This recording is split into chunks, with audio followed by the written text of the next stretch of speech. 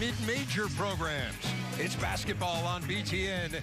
The Northwestern Wildcats hosting the Valparaiso Crusaders from Allstate Arena in Rosemont, Illinois. Dave Revsine, Jon Crispin with you as we take a look at the starting lineup, John. Dave, this is a very experienced but also balanced starting lineup for Northwestern with McIntosh, Lindsey, Law, Falzon, and Pardon. Now, the issue is finding some depth, somebody coming off the bench, because on the other end, Valpo's got all the depth in the world. A very young team, but at the same time, they've got 11 guys averaging 10 minutes or more, so a lot of contribution. Matt Lottich trying to figure out who his core is going to be. To your point, though, eight of their players are underclassmen for Matt Lottich, the second-year coach, former Stanford star, grew up just miles from Northwestern in Winnetka, Illinois. And Chris Collins, head coach of the Wildcats, grew up a few more miles from Northwestern in Northbrook, Illinois. Took NU to the NCAA tourney last year, as you may have heard. So two schools separated by 75 miles, getting ready to go for the first time in 38 years, John. And we've talked about this team trying to find the intensity in Northwestern, and I think it's got to come from that man, Bryant McIntosh. It's not really his personality to get in a guy's face, but I think he's certainly earned the right to do so, and it might be exactly what his team needs.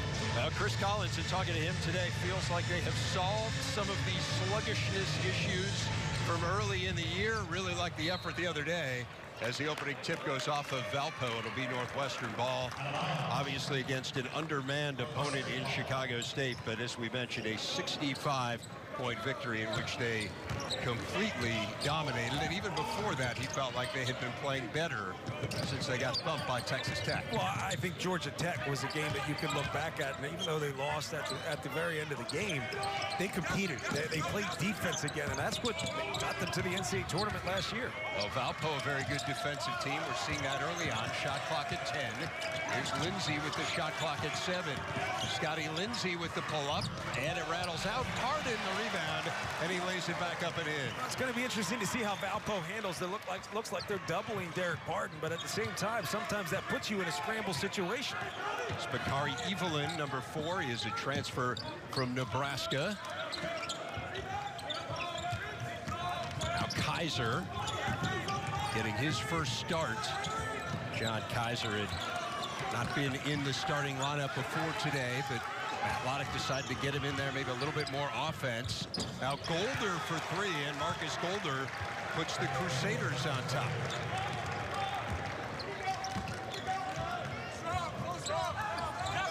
Lindsey inside to Pardon. Jaume Sorolla on him.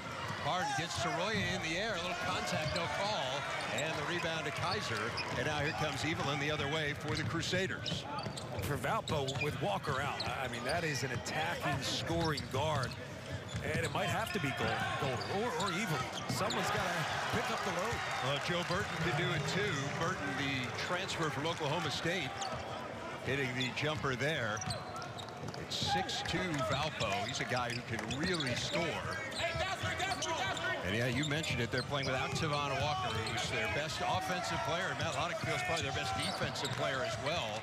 As the law hits out of the corner for the Wildcats, he is out with mono. And Northwestern, of course, knows that all too well. That was the affliction that had Scottie Lindsey out for four games last year. Burton getting his man in the air, but doesn't shoot it now. Evelyn guarded by Law. Here's Sorolla. Now Kiser. Shot clock under 10. Shot clock at five for Evelyn.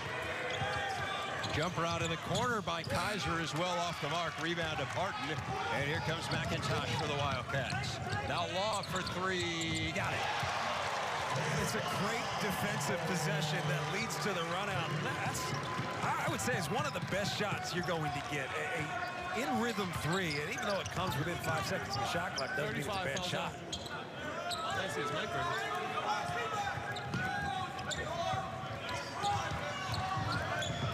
Here's Kiser.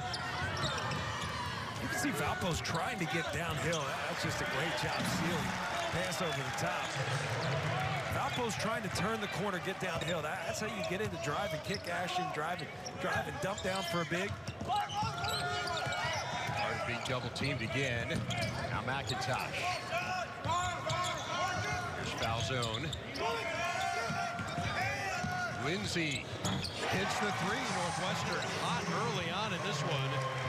A few three balls and Northwestern back out on top. 11 to 8. Guys like Lindsey and Law, that they can pass over the top of defense, and they've got great vision to do so. That's just a skip pass. Cross court to a wide open Scottie Lindsey. That's three of three behind the arc. It's a Valpo team that comes in at 8 and 2. They have lost two in a row after an 8-0 start, including a 30-point loss to Purdue. Now Law battling for the rebound, and he's got it. On four. Going to take it in and draw the foul. Looks like it would go on Joe Burton. Northwestern's been aggressive in transition. Uh, defensively, they're really protecting the basket well. Backside's been in position. But then when they have the opportunity, they're getting out and running. And I think that's where they have the clear advantage, especially with the starting lineup. Guys coming off the bench, different rotations, still something that needs to be figured out. Marquette's been much better defensively over the last five games after a sluggish start. McIntosh through the lane and he lays it in. First two for Bryant McIntosh. The vision. Derek Park. It's the Purdue game. He hits five jumpers. Even surprised Matt Painter and not being able to make passes as well. I think Matt may have been the most surprised guy in the building because that's not really something Pardon had shown in his game, really in his career. He was surprised and annoyed. You know, it's one of, of course, he, he hadn't made that shot all year. Wow, how about that shot? Derrik Smits, that is the son of former NBA great Rick Smits, is a tremendous offensive game. Matt Lottich just loves his touch around the hoop, and you can see why. Awkward spacing for Northwestern there, but McIntosh bails him out. Northwestern five field goals by four different players to this point. Here's Skelly trying to become the fifth. That one rims out for Gavin Skelly. And Markus Golder the other way for the Crusaders. You can see how much Northwestern's offense is kind of a, product of its defense. With the defense playing well, with the defense in position, the offense just seems to be in rhythm. Nice pass by Smits, better block by Skelly. And here comes McIntosh. Law again in transition for three, and he got it. Big Law red hot, already with nine. And again, it's good defense, forcing the defense, uh, forcing Valpo to just retreat back to the paint. They're getting open threes in transition. Evelyn weaving his way through. Kiser thought about it. Now back to Evelyn. Really good flow to this game so far on both ends. Burton's three doesn't go, and Law the rebound.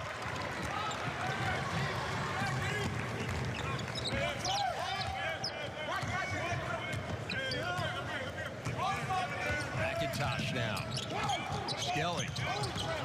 Skelly spinning through, runs into Smits, which is a big guy to run into. Law out of the corner, and he is fouled, and he hits it. About that for Vic Law? But how about a start? I mean, it's just been a great start for Northwestern. The energy is there on the defensive end, and they're playing with a lot of confidence. Kind of fearlessness on the offensive side. Vic Law. A lot of swagger, confidence, all the things they need. Four of four from three.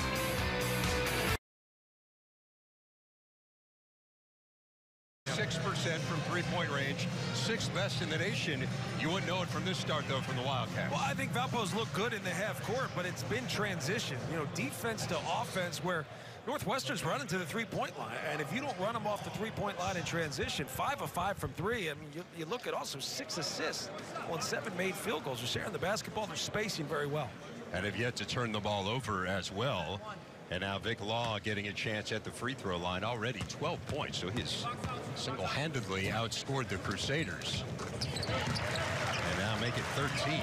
This after a game against Chicago State. Northwestern was up 55-8 at the half. They had four players in that first half who individually outscored the Cougars collectively. I don't think we expect a similar result here tonight. This is Max Joseph in there for Valpo, number three. Canadian misses that one and battle for the board. And it's going to be a foul on Valpo. I think to regain control of this game, I think Valpo's got to make it a half-court game. They've got to take away transition opportunities, continue to try to attack downhill on the offensive side of the ball. But so far, Northwestern has been locked in defensively. There's McIntosh inside the arc, and Bryant McIntosh with a good start for himself after some struggles from the field last time out. A 9-0 run for the Wildcats in the lead up to a dozen. Now a steal by Skelly. Got Law with him. Vic Law ahead of the pack. And he's fouled from behind.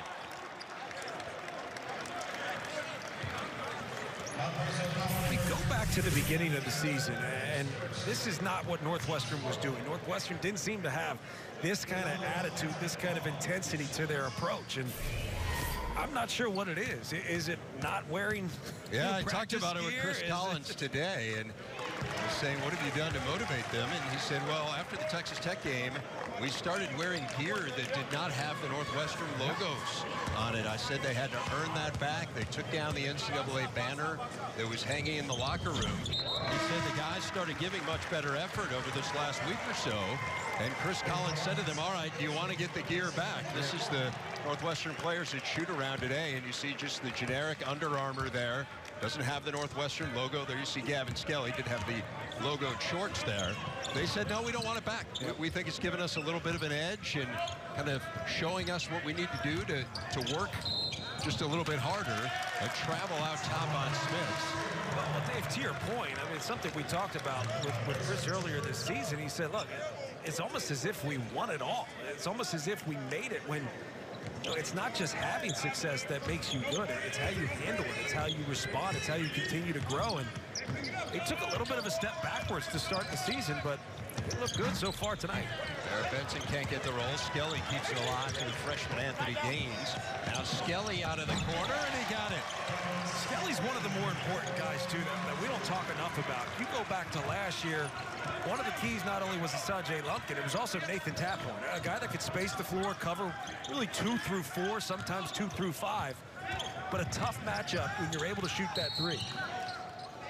Western six of six now behind the arc. Foul inside. It's going to go against Barret Benson. Be the first on Benson. And that is the first team foul on Northwestern. That is remarkable. More than seven and a half minutes in for a team that is quite foul prone. Nearly 20 per game, tied for the second most in the Big Ten. Well, so far they're, they're playing position defense. They're playing position defense, meaning they're in position before anything happens play-wise. They're in position before a drive comes their way. That's what Wisconsin's done. When, when they had that 16 straight years top four finishes, two straight Final Fours, that's a team that didn't foul a lot. It's because they were always in position. They were an experienced and a well-coached basketball team. And this was such a good defensive team a year ago, Northwestern was. And they were second in the conference in field goal percentage defense last year. They're 11th this year. McIntosh misses that three. Gaines going high for the rebound. Can't quite corral it. And Valpo coming the other way. But you know these guys have it in them. I yes. mean, it's largely the same personnel, and I think that's what was frustrating early on, not just for Chris Collins, but for the fan base as well. It's kind of what's going on here. I think initially it was easy to make some excuses. You're not, you don't really have that home court advantage. It's a, it's a new routine. But this is an experienced basketball team, and you should still expect more.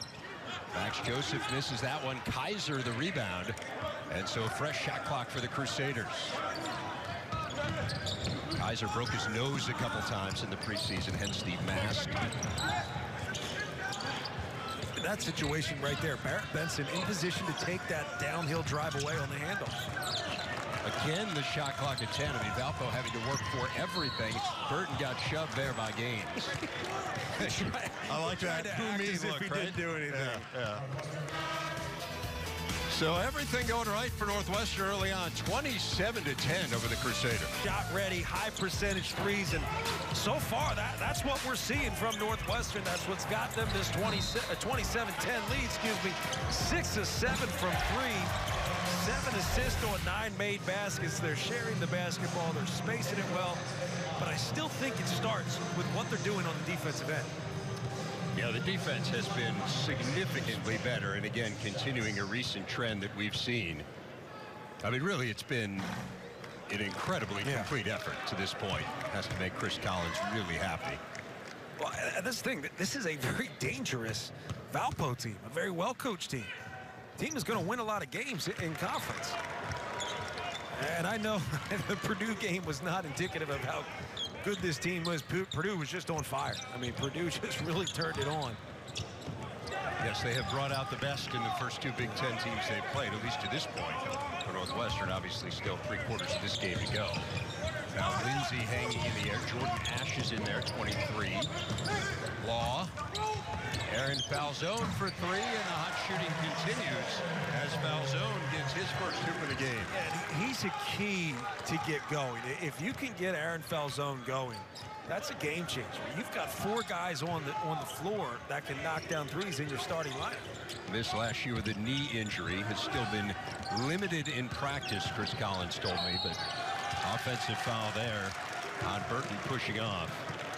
But they feel like Falzon is working more into his game and really shot it well against Chicago State. And again, inferior opposition, but you and I were talking about this that still matters. That yes. still helps you to have a game like that, no matter who it's against. Well, especially as you're still a team developing chemistry. He's a new piece. He wasn't there last year. So he's a new piece from that NCAA tournament team. And he's also a key piece. Three-point shooter, great length. You've got to learn how to play together with the lineup you've got. And it does take time, but experience helps. Lindsey with the shot clock at eight. Now Law in the corner Falzon. Shot clock at three. Law cut one rims out. So Vic Law finally missed one after starting four of four behind the arc. Yeah, Dave, you talk about Valpo bringing out the best in the two Big Ten teams that they face. Well, that's kind of what happened. what happens when you're a really respectable, high-level mid-major team like Valpo. Uh, this has been a really good team. I mean, those who follow college basketball certainly know this, but a team that has really dominated in the Horizon League in recent years, now moving up to the Missouri Valley. Bad pass there by Pardon, where they essentially replaced Wichita State. I mean, that's, yeah. Talk about a great program. But I mean, the success of the program, what it means to the community, it's a really special place. And as a Big Ten team playing this Valpo team, you're not going to take them lightly. Here's Burton working on Falzon and had it blocked by Pardon, but Pardon is called for the foul.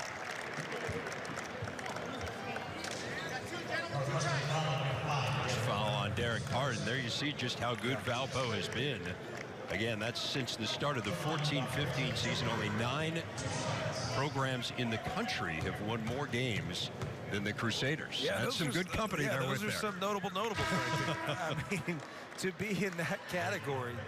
And look, they're there. When it comes to postseason, they're in the mix every single year. And I think that's why Matt Lottich is excited about this opportunity.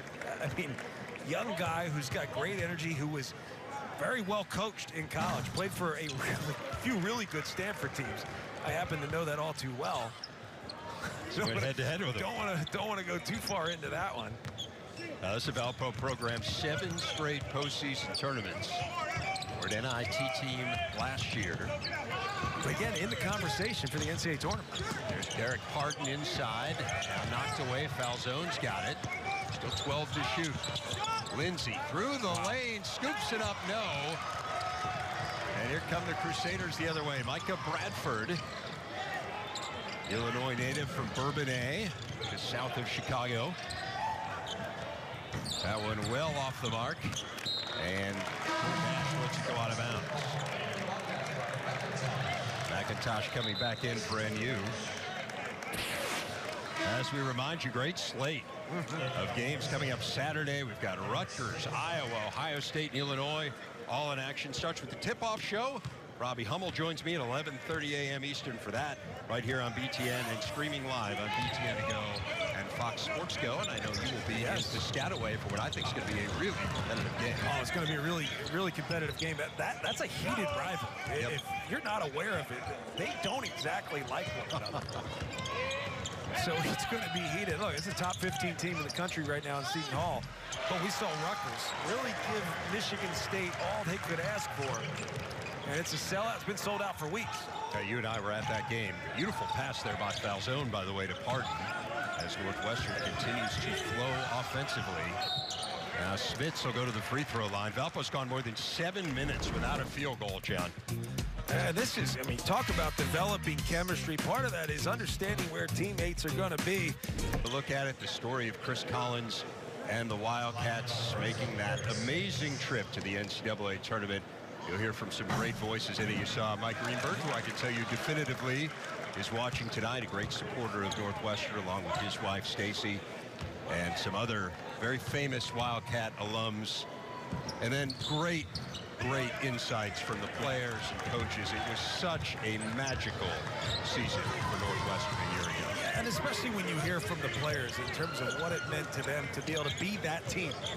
I mean, there, were, there have been a few teams along the way that we've talked about. Could they do it? Well, you go down in history as the team to get, get things started in the NCAA tournament.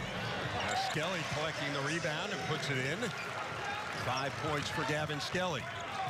Interesting thing is, I mean, Chris Collins always said, uh, it's not about just getting to the NCAA tournament. It's about building a program that goes there every year. They have a great recruiting class coming in next year to that point. Scout.com rates it 18th. Was talking about that group with Chris today, including three players that are in the top 125 nationally. He feels like there are a couple future pros in yeah, that group. But a couple future pros, but a couple guys that really fit what he wants to do. And that's kind of a luxury as Bryant McIntosh turns it over. That's a luxury when you start winning games. Players want to come play for you and play in a system that's going to be playing at a high level. That the first field goal for the Crusaders in 8 minutes and 20 seconds. Skelly keeps it alive and gets it out to McIntosh. Kiser's face mask just got thrown off the floor. Skelly left that one short. Here come the Crusaders. This is Golder. Through the lane, hanging, can't get it to go. And rebound to Smits. Now Golder in the corner. And a foul on the Wildcats. It's going to go against Gavin Skelly. Actually, I beg your pardon, kick the ball. Have to get DJ Carstensen out of the way. Yeah, he, he, he really blocks the view. He reminds me of my good old buddy Steve Welmer. I say that because Steve gave me a technical foul at Minnesota. He doesn't hoist his that. pants up quite as much as Welmer did. That was Welmer's go-to move. That's when you knew you did something wrong. When he when he did a, yeah, a oh, hoist yeah, on you. Hoist the pants. Another turnover for the Crusaders. That is six for Valpo. Just two for Northwestern. Another encouraging sign for Chris Collins' team, which has played a really nice first half. That was an issue for Valpo at Purdue. It's just hard to find a great find down low. But ultimately a good steal by Barret Benson. Hard to find rhythm offensively. Hard to find confidence. Some sort of, of continuity when you're turning the basketball Bradford leaves that one short. It comes out to McIntosh. McIntosh driving in, high off the glass, doesn't go. And here comes Evelyn.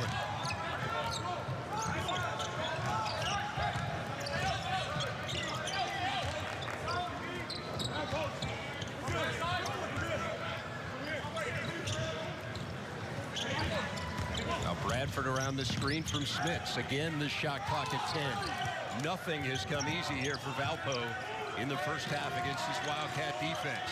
Shot clock at five. Kiser high off glass and gets it to go. Nicely done. Late shot clock there. And Kiser gets his first two. Barret Benson did a great job on the previous two handoffs in terms of taking that downhill attack away. But on that time, late shot clock situation, didn't come, off, come off as man enough. Now Lindsey top of the key for three. That one not there, and Kiser with the rebound. Northwestern has done all this despite the fact Scottie Lindsey, their leading scorer, has just three points. Out of the corner, Bradford hitting the three. You feel like Valpo, with a couple stops, can get themselves back into this game. Offensively, the way they attack, the way they move the ball side to side and then try to come around ball screens and handoffs, it's going to be tough to cover. Skelly misses there against that Valpo zone. Western worked on that zone offense quite a bit in the shoot around today. You can work on zone all you want, but ultimately, once you get into the game, the last thing you can do is just pass the ball around. You really got to attack that zone, force them back out of it. Evelyn able to get it to Smits, working on Benson, had it knocked away. And Law the other way for the Cats. In the corner, Lindsey. And Lindsey is fouled.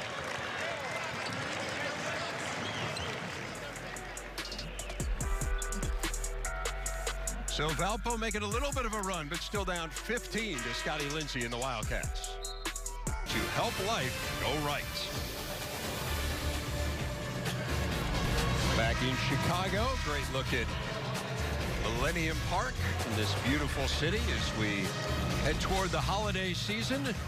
And it's been a festive start for Scottie Lindsey at Northwestern, 36-21 over Valpo. Valpo's starting to turn things around again, starting on the defensive end. A few stops, couple made baskets. Well, that's not that's not one of the stops I'm talking about. They didn't really play along with the point you were trying to make there. No, every now and then that happens. But every now and then when you get it right, it seems really good. I'd say you get it right more than every now and then. I mean, I don't, I know I don't need to unnecessarily boost Yes, your thank you. confidence. Here's Gaines with the steal and lays it up. No, great follow by Jordan Ash. First two for the junior. And those are the plays that Chris Collins and you look at that bench are going to get most excited about.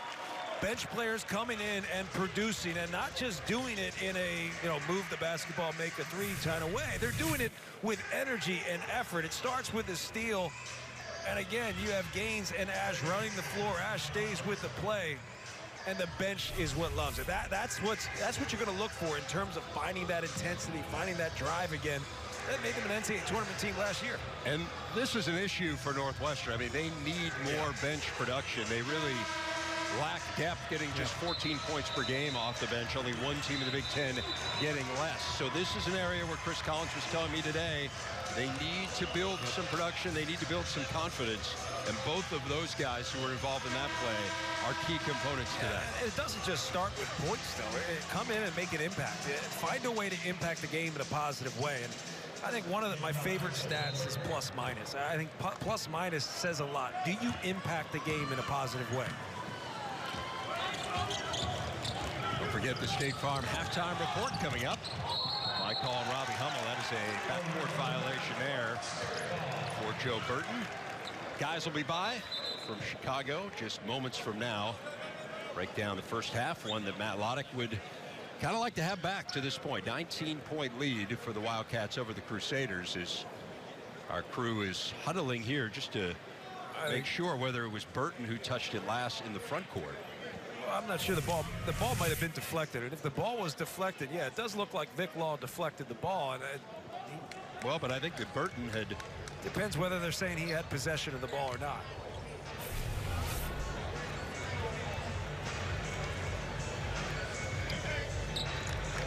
Now you see DJ Carstensen now explaining it to Matt Lottich, and seems to be what he's saying is the Burton touched it in the front court and then took it across into the backcourt. If it's if he doesn't have full possession, it's still a loose ball. So if they're saying that is full possession of the ball, which I wouldn't say he had possession until he got it right there with two hands. Now, I'm not an official.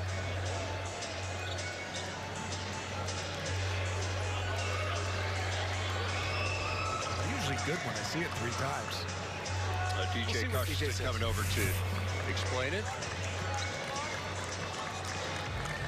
There's a clock issue as well.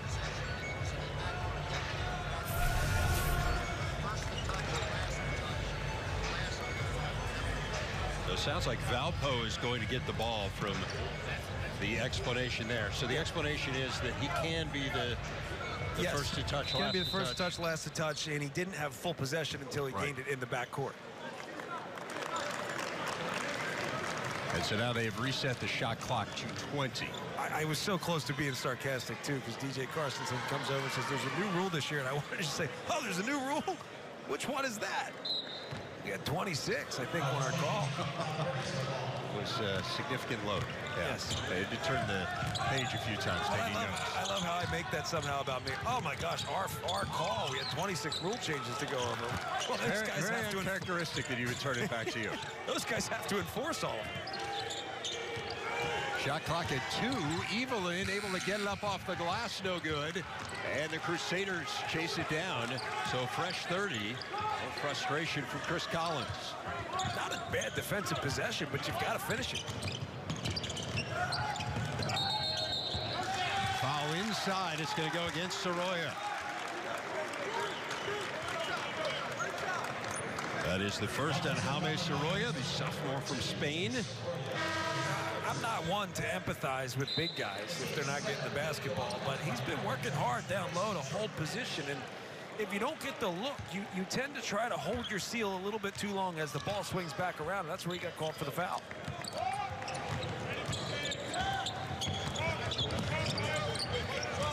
Now Lindsey in the teeth of that defense. Scottie Lindsey with the pull-up that goes.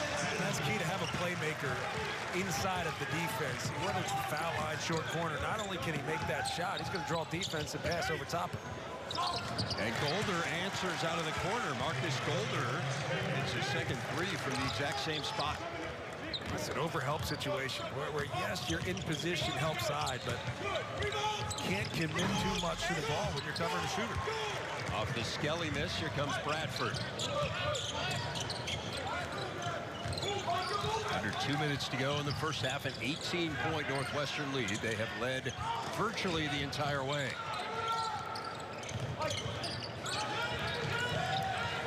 Sorolla working on Skelly. Sorolla goes to the hook and gets it. And he's got the mismatch. If he can get position, you got to get him the ball. Give the big fella a chance down low. And if anything, it's, it's all about winning that battle early. If you want to play against a big guy, you got to play defense early. Win the position battle. Matt Lottich really high on Sorolla as Skelly throws that one away. So he really needs to develop a little more confidence in his offense. They think the sky is the limit with him. Evelyn can't hit. Skelly the rebound. And Northwestern has called the timeout. That's kind of a weird timeout. It's a very strange timeout. That's, that's a teaching moment. I guess there's something in there. So 42-26 in favor of the Wildcats. And we were talking about Northwestern trying to work against that Valpo zone. This was beautiful. Well, look, what's great about it is he, he, didn't just stand there. He, he cut to the teeth of the defense and forced the big away from the basket by having a guy who not only can make passes. Obviously, that's not what you want to see. But cutting through the defense is really the way to attack the zone in many ways, treat it as if you're playing against man. Move, cut, force the defense to rotate. Closeouts become longer if the defense is forced to rotate. but they're standing in place, and just pass the ball around. It's easy to take things away. So McIntosh will bring it across. Three assists in this game for him. He has tied Jeff Horner of Iowa for 12th in Big Ten history. So one more, he would move into sole possession of that spot. I think he passed me an assist in his fourth game. Isn't really your forte. Northwestern ball with 14 to shoot. It's amazing, though, you have a guy like that who just comes in. He's got a scorer's mentality, but he just has great vision. He's all about making his teammates better. I don't think there's anybody in the league that doesn't expect the heck out of Bryant McIntosh. McIntosh with nine to shoot. Here's Lindsey. Around the Skelly screen for three. Back heel and out. Good fight for the board by Skelly, and he'll go to the free throw line. Skelly's that guy. I said he could be and probably needs to be that guy. We talked about Nathan Taphorn and, and Lumpkin from last year. Saj Lumpkin kind of the glue, the X factor. Nathan Taphorn coming out hitting big shots. I think Skelly's got to be the guy this year. Provide energy, make shots when you get open looks. Skelly missing the first free throw. Only a pretty good foul shooter at just over 82%. State Farm halftime report coming up. Mike and Robbie standing by in our Chicago studios as Lindsey checks out for the Cats. Northwestern actually first in the Big Ten in free throw percentage this year. They have shot it really well. Skelly hits one and two, so eight points for Gavin Skelly. Already above his season average. Barret Benson back in there, and Skelly will take a seat.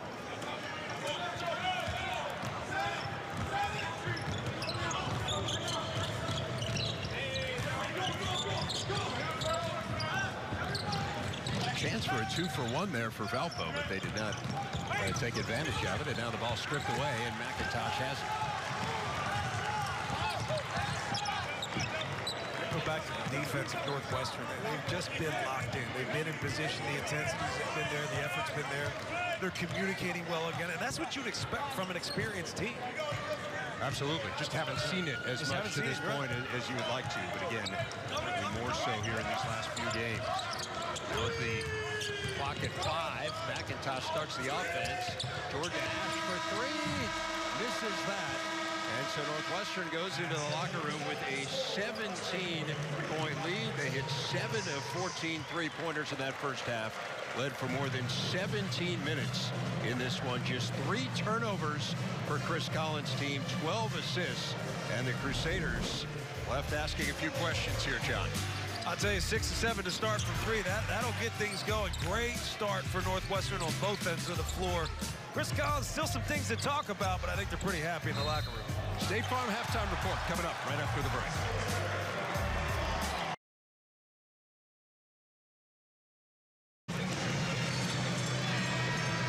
Back in Rosemont, Northwestern is led by as many as 21. It's now 7 43 to 26. Dave Revsine, Jon Crispin with you, and we talked about some of the struggles for Northwestern out of the gate. A lot of it premised on not playing as well defensively as they had last year. Certainly hasn't been the case tonight. Yeah, and, and defense is about motivation. It's about intensity, and they certainly have that figured out. And I think that started when you go back to Georgia Tech. Obviously, these guys are locked in. The communication's been there, but they're also in position. And when you're in position defensively, as you see Barret Benson taking that downhill drive away, you're in position. It's going to lead to plays like this. It's going to lead to steals and runouts, high energy plays. And these are the type of plays that gets the bench back involved. And that's something they've been looking for for a long time. Added depth on this Northwestern roster.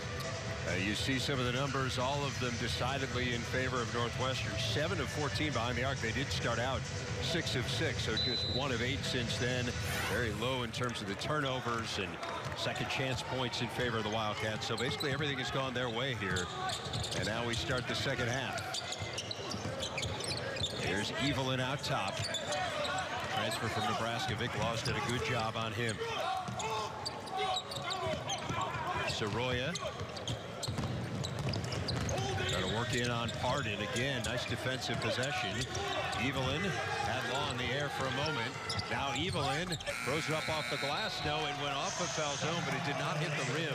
So that is a shot clock violation. It'll be Wildcat ball. If you just watch the way they take away dribble handoffs, they're beating the offensive player to the ball, and they're just completely taking that option away.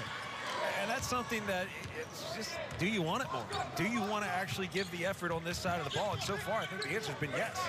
It was interesting talking to Chris Collins today. He was saying this is an offense that they've seen several times this year, very similar to what Creighton and Illinois and Georgia Tech run as Pardon tries to keep it alive. He said they really hadn't seen it at all in his first few years, and now they're seeing variations of the same thing for the fourth time. And seems they've caught on. Yeah, I, I think the, the, game is evolving, and you're seeing a lot of a lot of young coaches in the game who bring kind of an NBA and European look to, to the offensive side of the game.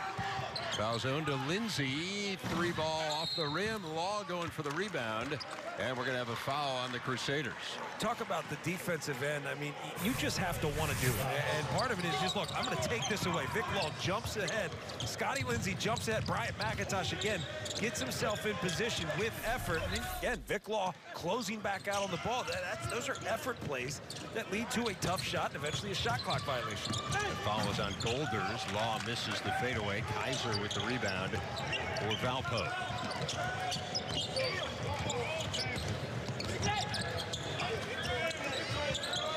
Burton back out top to Evelyn.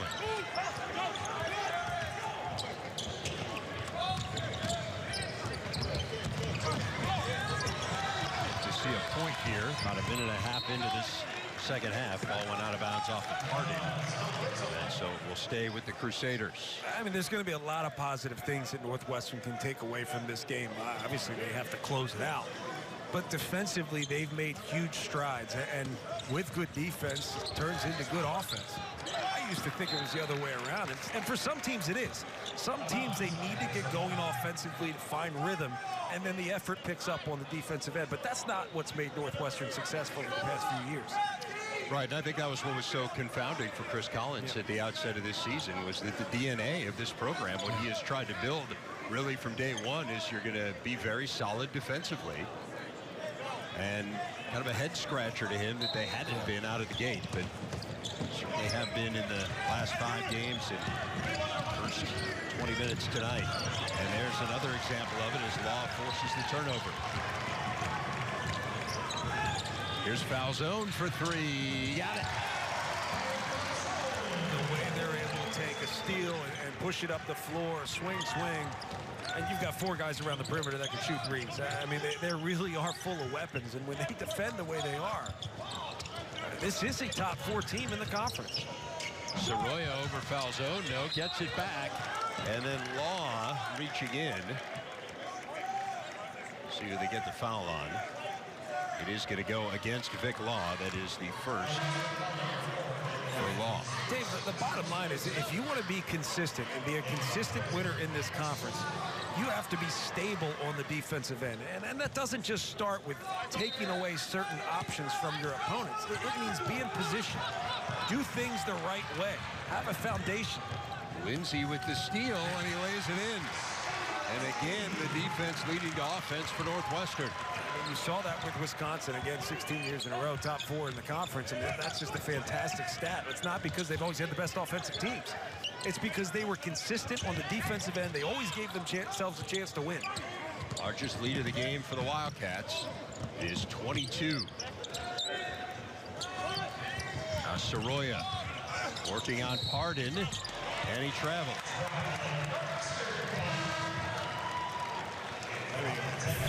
We're going to end up hammering this home. I mean, this is just effort. Scottie Lindsey getting out there, wanting to make something happen turns the steal into a layup. It was interesting talking to Chris Collins today as well. You know, he said that the NCAA tournament thing had been such a galvanizing force for this program the whole time he'd been here. And anytime anyone faltered, they could kind of fall back on that as that's our collective goal yep. as Gaines is fouled on the floor there. And when we were talking about what went wrong at the outset of the year, he said maybe the fact that that yep. wasn't there anymore was part of what the issue was, was that now all of a sudden guys were thinking a little bit more about, you know, kind of what's in it for me kind of yes. thing and a little bit more individualism. And he said, I saw it coming a bit, and there's a yeah. human nature component to that. I don't blame it on anyone individually, but it was just a little bit from each guy and you take that little bit and collectively it impacted the team. You can't help but be influenced by the way you get treated on campus after winning that way. Right. And while it is all about the team, you as an individual, it's a, it's a human response. You're going to start to believe a little bit more in yourself. Uh, and these are also guys ooh. Holder went down hard there. Didn't look these are these are guys that can all play at a high level. I'm not just talking about in college. These, whether they're NBA pros or, or overseas pros, you're a pro. And I think this is a team where you've got four or five guys that can play basketball for a living. It's hard not to buy into yourselves a little bit. And there was so much hype that surrounded it, and deservedly so. And I think Chris Collins, as much as anyone, wanted to see those guys. I mean, that was yeah. the fruits of their labor, and he wanted to see them enjoy it. But he said, you know, we got back to practice and they kept saying, well, we want to get into a game and it'll be yeah. different when we get into a game. And he kept telling him that's not how it works. How it works. And ultimately, it came back and bit him a little bit. But certainly these last few performances have been impressive. Lindsey through the lane. Scottie Lindsey with a dozen. Seven here in the second half conversations with Chris Collins, I, I, said at one point, you think that another steal, Bryant McIntosh backside being in position. Now Gaines to Pardon, up off the glass, no, but he draws the foul. You know, I, I said, Chris, do you think that at some point Texas Tech is going to make sense down the road this season? And, he said, probably. And he said, actually, hopefully hopefully that we turn things around so much that we look back at that game and say, yes, we are no longer the same team. and this graphic shows it. you look at the last five games, the difference between points allowed, the field goal percentage, which means you're making the team, your opponent, uncomfortable. And that is a fantastic stat, not to mention the, the turnovers that you're forcing. You're forcing opponents into bad situations by being in position.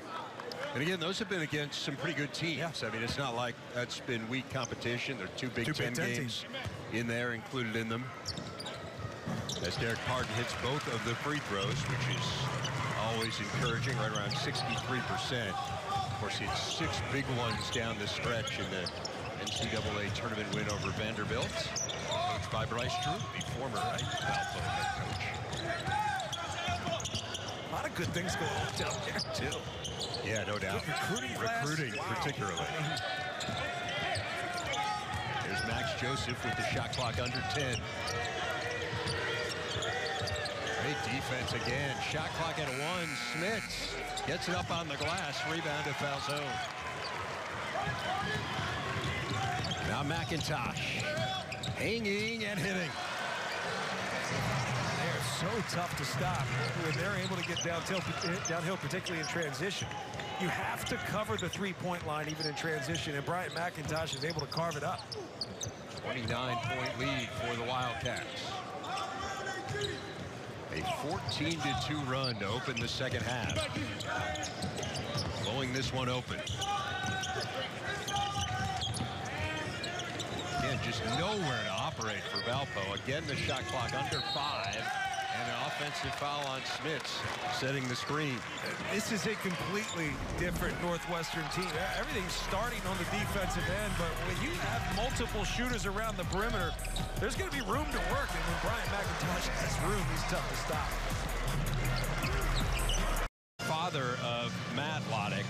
Amazing story. David Lottich separated from Matt's mom when Matt was seven months old.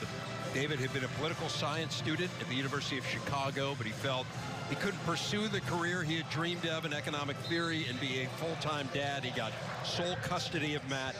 So he left his career path. He became a carpenter so he'd have more time to devote to Matt. They lived in a one-bedroom apartment in one of the wealthiest neighborhoods in suburban Chicago, the town of Winnetka, so that Matt could go to prestigious New Trier High School. He became one of the great high school athletes in Chicago area history. He was a fabulous basketball player. He was the quarterback of the football team. He hit nearly 500 in baseball, had a GPA of 3.8, went out to Stanford, was a fabulous player. But you talk about yeah. sacrifice. David Lottich, and he still lives in the same apartment in Winnetka. He has now moved into the bedroom. He let Matt have the bedroom when Matt was a kid, but and he goes to every home game and just a great part of of Matt's life. Oh, it's a fantastic story, but Matt's career is a testament to that dedication and that sacrifice. And Matt was a fantastic competitor at Stanford, uh, but always kind of that have to overachieve kind of guy. He continued to work. He was perfect in that Stanford system, too it was it was a lot of guys who, who almost had their backs against the wall and something to prove in the Pac-12, Pac-10 at the time. You had your Arizonas, your UCLA's. Stanford somehow beat everybody. Well, Mike Montgomery had a lot to do with that, but Matt yes, Lottich did. did as well. Off the offensive rebound from Barret Benson, Bryant McIntosh in Northwestern with a fresh 30. Here's Skelly out top, and Skelly drains the three. That is such an important shot to be able to make because Bryant McIntosh is going to demand that double team from time to time. BMAC did a good job just, just drawing it out, pulling the defense out further, gave Skelly an opportunity. A 17 to 2 run to start the second half for the Wildcats. Skelly into double figures with 11. He had seven rebounds as well, but a nice game for him. He's going to get looks.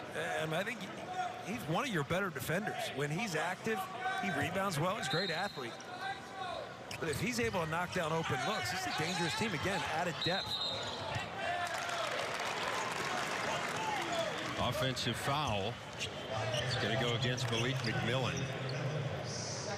Second foul there. You see Matt Lottich, obviously a frustrating day for him, but good things ahead for this Valpo program. And again, I think it bears repeating, we talked about it off the top, but they are without Tevonn Walker, who is their best offensive player, and Matt would say their best defensive player as well. He is out with mono, and it has certainly impacted this team here tonight. And Taking your best player off the floor, like you said, on both ends of the floor, it, it, changes everything. It changes how you attack. It changes how you communicate. It changes whether you're able to switch certain players or you have to go over screens. It really does change everything, and that's what poses such a problem. Doesn't mean that this team isn't going to be able to figure things out as they go forward. They got Northwestern on a night where Northwestern seems to be locked in defensively, making every shot. Anthony Gaines. It will be a challenge, Dave. Sorry. no, it's all right. It will be a challenge. Yeah, it's it's not something that comes easy, but teams have had to make that happen. You talked about that with Scottie Lindsey last year. Well, you think about everything Northwestern overcame last year. They lost Dererk Harden, remember, with a broken hand. So he was out for eight games. They had the Scottie Lindsey mono. Rapolas Ivanauskas missed the entire year, as unfortunately he is going to again this season as Northwestern announced that for the second year in a row he's out with a shoulder injury. That happens. I mean, that is yeah. that's college hoops, as we know. And you know, Valpo had its fair share of that last year too. I mean, this was a team that seemed like it was destined for the NCAA tournament, and then Alec Peters got hurt. Yes. Guy who ended up being a second-round pick in the NBA, and that impacted their season. He, again, ended up as an NIT team, but probably a team that would have found itself in the Big Ten had Peter stayed healthy. Yeah, you look at mid-major teams that, that maybe just don't have that kind of depth. They may have depth in conference, but when it comes to the NCAA tournament, you lose one key component and you're in trouble. And again, and it's nothing against the conference in any way, but I mean, yeah. there aren't many Horizon no. League teams that have a second-round no. pick. So that's a huge loss. Nice move through the lane by Bradford. Five points for the sophomore. 32-point edge for the Wildcats. One game after they won by 65 against Chicago State, the largest margin ever for Northwestern. Great feed from Ash to Benson, and Benson goes to the free throw line. But don't forget Wednesday, BTN bringing you seven full hours of signing day coverage, interviews with coaches, breakdowns of every class, Big Ten football and beyond. Signing day special Wednesday, 9 a.m. Eastern time here on BTN, streaming live on BTN to go. Mike Hall manning the desk with Howard Griffith, Gerry DiNardo, Alan True. Seven hours. I mean, that's serious yeah, that's commitment right look, there. Look, I thought Hall would be resting up by now. I mean, seriously, just hibernate for a little bit. Seven hours on air, that's a lot. Well, I know he's been putting a ton of work into it as he does every year. All his incredible amounts of information, voluminous information. I don't think I could do that. That's too much information for me. I need a little action. Fortunately, you won't be asked. That's good. You're right. You're in the clear. Especially after that. Now, Linson down low. Good second effort by Martin Linson, and it'll get him to the strike. Not a good way to get a job. I would be terrible at that. That's four fouls on Barrett Benson. And now Linson, who is a freshman from Dusseldorf, Germany, Played on the German under-18 national team. Interesting connection with Matt Lottich. He played for a year in Germany, and the coach, when he was a pro there, was the coach of Linson's club team. They really feel like he's got a great upside. Still a little bit of a language barrier, trying to figure out the system a bit, but they think he's going to be really good for them. The connections overseas are something you, you, can't really undervalue. I mean, so many high-quality players who are, are also college-ready players. I mean, guys that have played against good, uh, good, uh, excuse me, good competition, probably since they were 16 years old. It's not like getting a guy from the AAU ball circuit where you've got to teach him everything, from defense to even how to move past the ball. Here's Skelly. Now Lindsey. And Lindsey lost it on the way up, but drew the foul. That foul's going to go against Bakari Evelyn. I would say that we're probably going to continue to see more and more high-level Europeans in the college game. Uh, I think the game is changing a bit where you have more stretch fours, stretch fives, guys that can space the floor, big guys that can pass. Well, Valpo's had a great run yeah, international players through the years, so this is nothing new for them.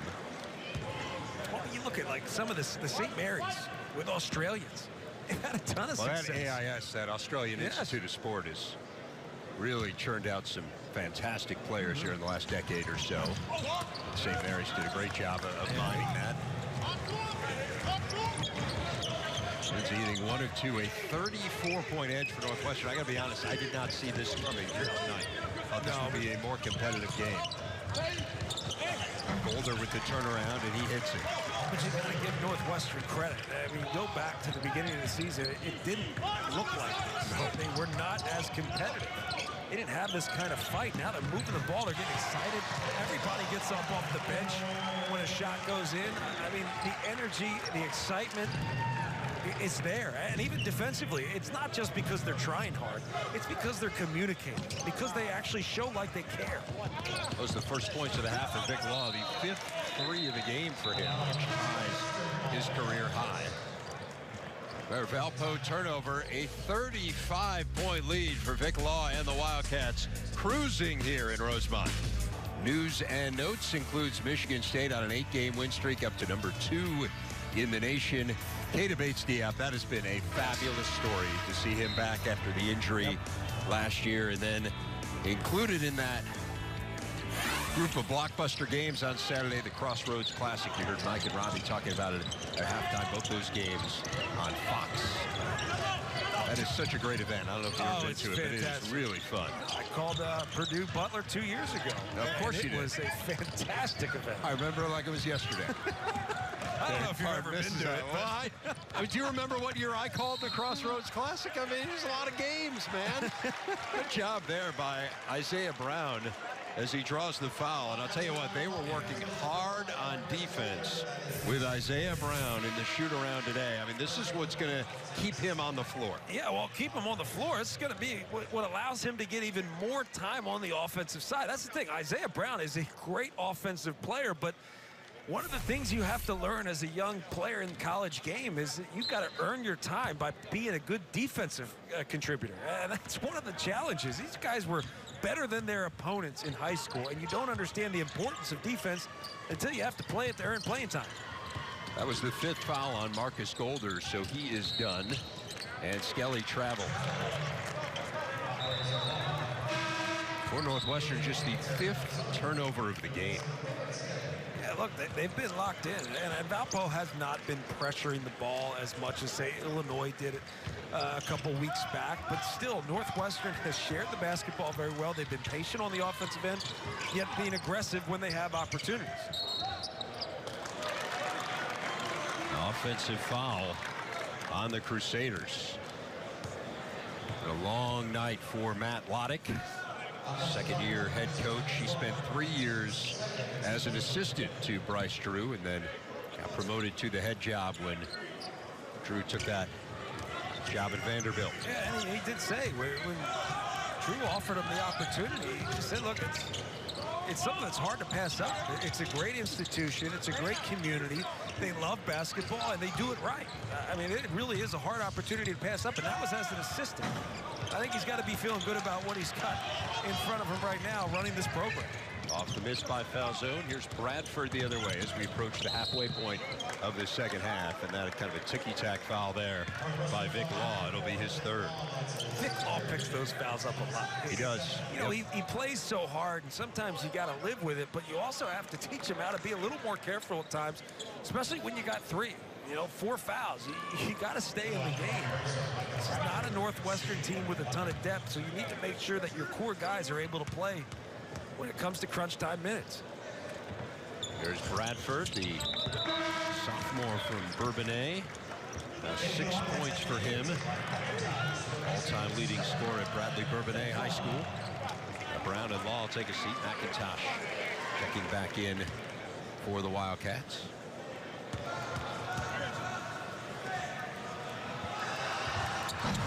He rattles that one out.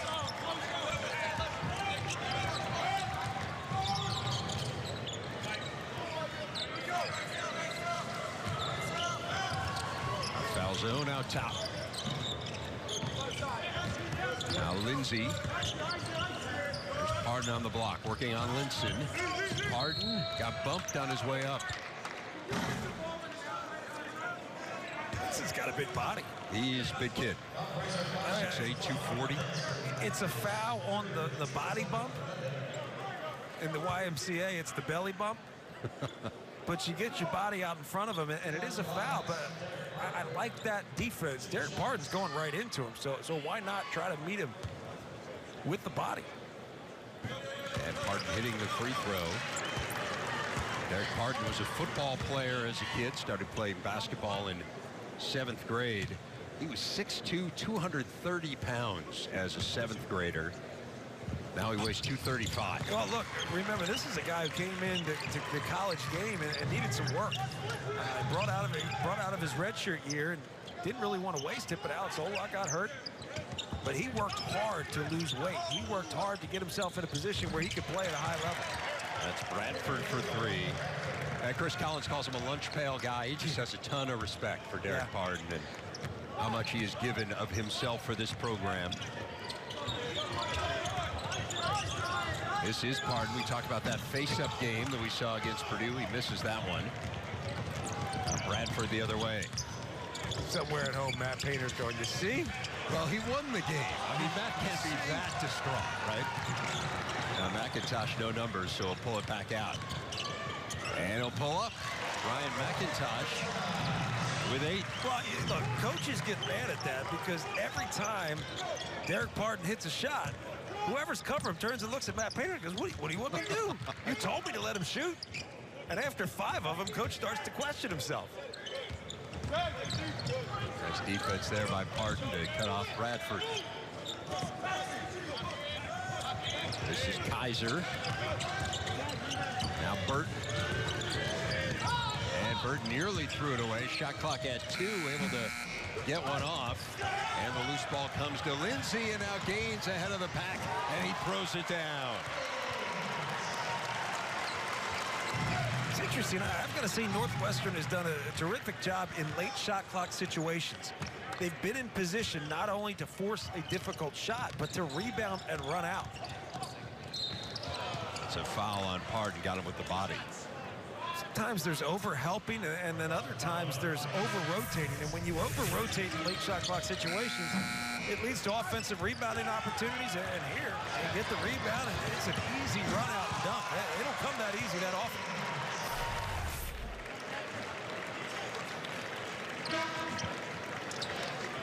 It's now Burton to the free throw line. We talked about him off the top, a transfer from Oklahoma State. He was a solid contributor for them 30 games a couple years ago, averaged about five points per game. He's a top 100 player coming out of high school in suburban Houston. Never really clicked in Stillwater. Had some academic issues early in his career, but a really good get for Valpo. Mean, this is a guy who, at this level, is going to be a fantastic yes. player. I mean, the length, the athleticism, the, the, the ability to be versatile and play multiple positions.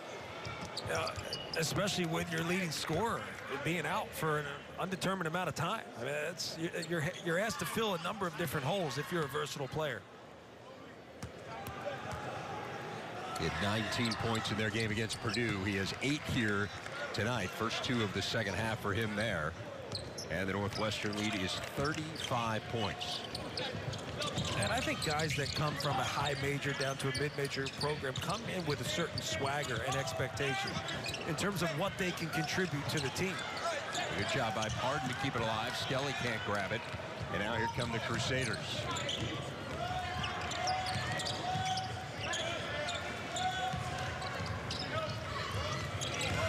Bradford. Gaines guarding him. Evelyn. Not there, and Pardon with the rebound. Still a long contested three with multiple Northwestern defenders in position to rebound. Uh, it's impossible not to be impressed by Northwestern's defense tonight. They have done virtually everything right on that end. Gaines tried to get it to Pardon, and Pardon was fouled. Big lead for the Wildcats, 73-38. And we're going to give you two of them. He's done a great job of finding teammates, particularly in pick and roll, pick and pop situations. And those are our two State Farm assists of the game. And I have no idea what Gavin Skelly was doing there on the way back. Highly symbolic, I'm sure, though. Yes, sure. I mean, three goggles, changing the pants. I don't know what's happening. Uh, you see the numbers for Bryant McIntosh. We talked about earlier in the broadcast. He has now moved past Jeff Horner into sole possession of 12th place all time in the annals of the Big Ten in terms of assists. Really just a brilliant career. And Pardon's free throw streak ends there. Nine points for the Wildcat big man.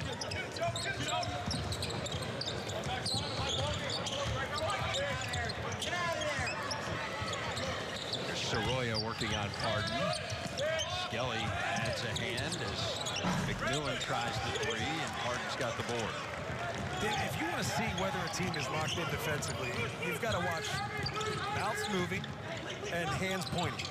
And that's what Northwestern has done very well. They are talking, they're pointing fingers, they're communicating very well, and that's what's getting them in position to make the plays on the defensive end. Jordan Ash hitting his second three of the season.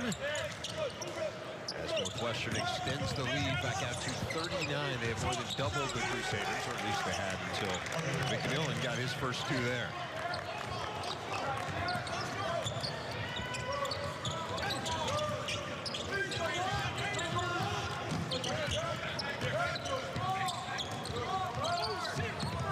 Harden. Now Ash on the baseline. That was not going to work out for him. Good job by Burton to knock that one away. And a foul going to go against Brown. The things Northwestern's done really well, as you said, is taking that dribble handoff away. They've done well on the other end as well is, is back cut.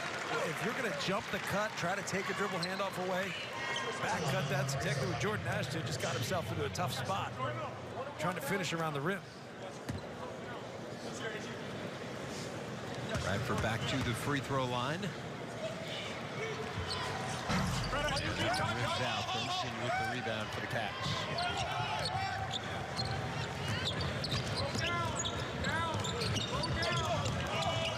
Gaines. Now down low to Benson. Benson working on Sorolla. Benson goes to the right hand, left it short.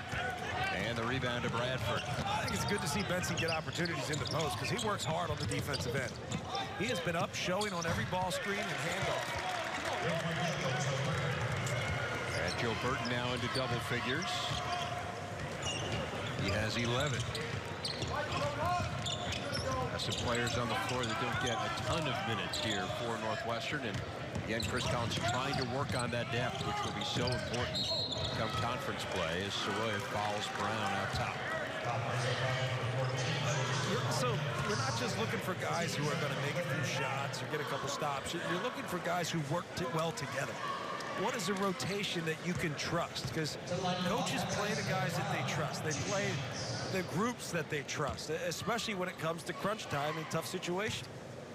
Now, the term that Chris Collins used with me today is that this team needs to be more connected.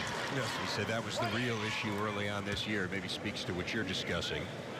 And when the action ends, don't forget the big show taking over. Highlights from around the conference, post-game reaction straight from the arena here. In-depth expert analysis. The big show coming up right after the game is Mike Hall and Robbie Hummel will be by from the studio in Chicago.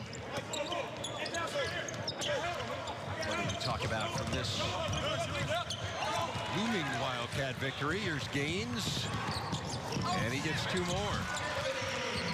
They really like Anthony Gaines. Like Chris Collins feels like he's going to be a big-time player for them. The only issue for him really is outside shooting. It's something he's been working on a ton. I saw today at the shoot-around. That's something you can develop. And part of that is confidence. Once you get comfortable on the floor and, and develop confidence in shooting the basketball, which part of that is also a coach just saying, go ahead, let it fire. If you're open, shoot. Uh, he is a long, athletic kid. Yep. He has Big Ten ready body, too. Absolutely. Absolutely. And as I said before, you're looking for guys that are going to fill holes, play a certain role. impact the game in a positive way. That doesn't mean you got to go out and score 30. That follows on Barret Benson. That is his fifth. You hear the applause from the crowd It's one of the crowd favorites, the walk-on Charlie Hall checks in for Northwestern. This is early for Charlie Hall time, but certainly well-deserved. See the guys who go through the scout team play and Charlie Hall has the great backstory, of course, as well, being the son of Julia Louis Dreyfus, Northwestern alum, and also Brad Hall, a well-known comedy writer, a Northwestern grad as well. We always say that there are a lot of lessons to be learned through sports. But the guys who are learning things probably more than anybody else are the walk-ons and managers on these programs. These are guys that put so much work into, and they don't get a lot of time on the floor. Look at the name in the paper, so to speak, or online, YouTube, whatever is working these days. And guys who could have been really good players had they Yeah. gone to a lower level. I mean, Absolutely. Charlie Hall averaged double-double in high school. There's Gavin Skelly, and it knocked away, but he's fouled. If you're on the bench, if you're on the roster, and gosh, sometimes you'll see some of the managers can play. I mean, guys that, that dominated at the level they came from. I mean, these were high-level high school players. And when you talk about contribution, you, you may not be able to impact the game every way, but what you're doing is you're you're impacting the level of play in practice, and that's what prepares you for the game. So your role is as important as anybody else's.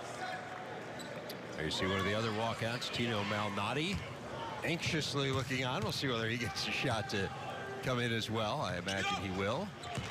As Skelly now has a dozen.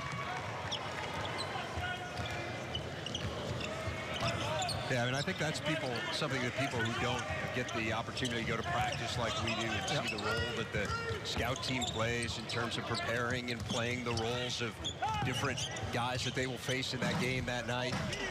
Really important stuff to be those extra practice bodies. But I also think there's some perspective in there, too. These are guys that work hard and rarely ever play. Yeah. So the last thing you want to do is hear a, a player who's playing 35 minutes a game complain about playing time or complain about shots. Now Malnati set to check in as well.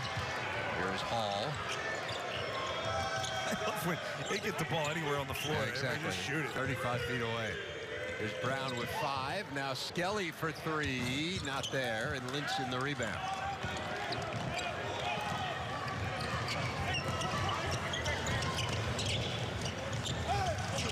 Burton just lets it fly. That's a deep three for Joe Burton now with 15 to lead the Crusaders. Yeah, and you're right about Burton, too. I mean, just a high-level athlete. High ceiling, and especially in this conference where he really can impact the game. Well, he popped out watching him on tape, no doubt.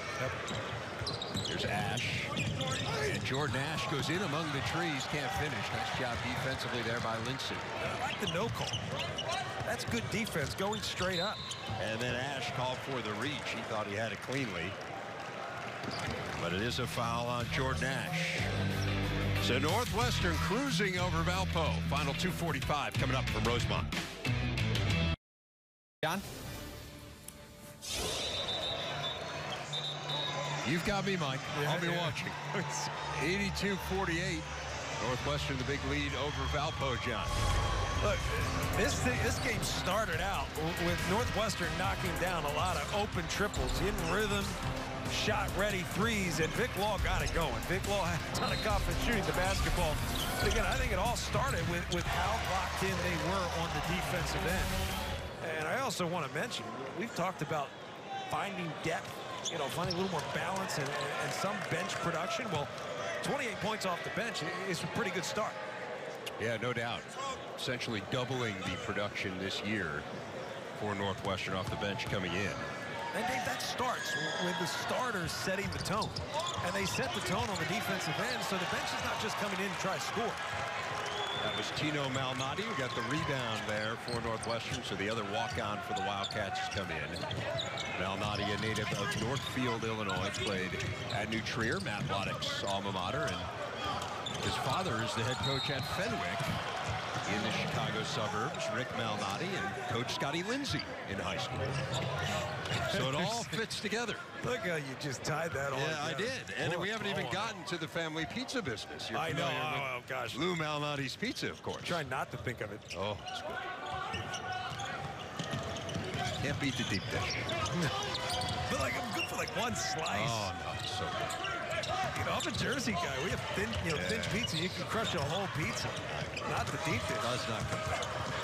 Nice block there by Charlie Hall. Great hustle, and he saves it to Malnati.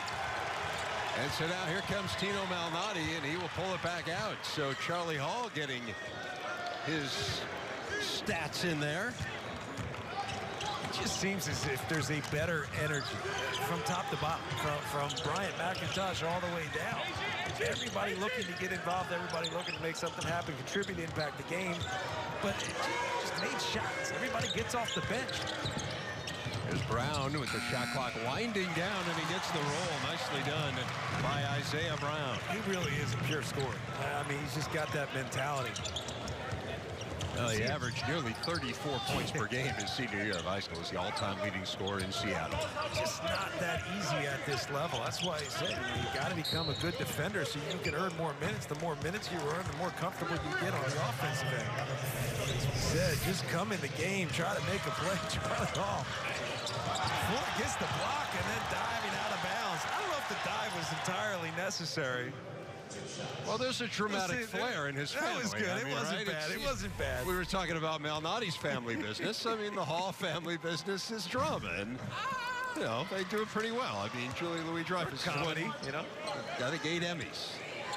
It wasn't that bad. I, at first, I thought he didn't really need to dive. He didn't really dive. He just kind of gracefully fell.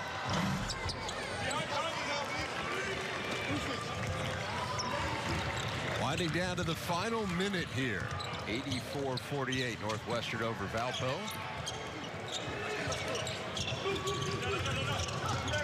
Brown, now Skelly. This is Malnati. Everyone in the crowd, as you said, anytime that Malnati or Hall touch, touches the ball, they want him to shoot it. That one knocked away by Skelly, and it will stay with the Crusaders. So what do you make of this win from the Wildcats? Well, this kind of clarifies what I've been seeing, and that is a, a much improved team from the start of this season. I do go back to Georgia Tech. I think this started back there, but they also realized like, we might play a great defensive game, but we didn't put it all together. Since then, they've really started to turn things around. I saw it against Purdue. They had to fight Illinois for 40 minutes, 40 plus minutes with overtime. And I saw this team against Purdue really start to turn things around, just weren't able to pick up the win. But this is justifying what we saw against Chicago State. A great follow-up win against a really good Valpo program. Max Joseph gets fouled. Well, this is a big week for Northwestern. They have a road game against DePaul coming up on Saturday. Of course, they're playing in the old DePaul Arena here. This is where the Blue Demons played for so many years. They have the new Wintrust Arena on the south side of the city, South Loop, and and you see a game against Lewis here, and then that game in Oklahoma is a huge one. Yeah, I mean, if they can game. get a win there, that would really make up for a little bit of the hole they've dug themselves in terms of getting back to the NCAA tournament. This was a team that was a top 25 team to start the season, and the expectations nationally, even internally, are still there. I I think a lot of people expect this to be a good team come the end of the season, but they have to continue to build upon the success they're having so far. A successful day, no doubt, for Northwestern. The Wildcats hit 12 of 22 behind the arc, those 12 threes, tying a season high as they improve to 7 and 4 on the season.